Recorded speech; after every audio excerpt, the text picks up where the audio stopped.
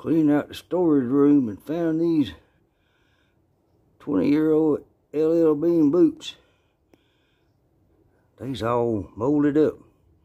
Can they be resurrected? You bet it, buddy.